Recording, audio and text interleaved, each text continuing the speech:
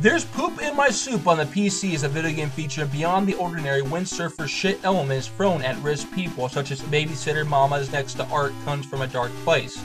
Masters of the Night, it has three worlds to explore and provoke the computerized people New York City, Belgium, and Paris, all in one study format. Sharpen your senses, it has prime ready fun marks of railing features and cool offer bombs to explode about perfect pipes and pristine parks of altitude, you're invited to a short, entertaining game with pushable limits, a rejuvenation to the glorious gaming mind. It's not overly bad in a snowmass system, it does its best in show and calls it an early masterpiece. Some jaw dropping contain pages of dangerous exploits and crowdy random funny humor.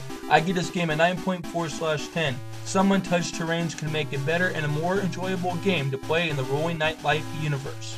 Love the Burrito Master, and let the insightful measures of humor glide you.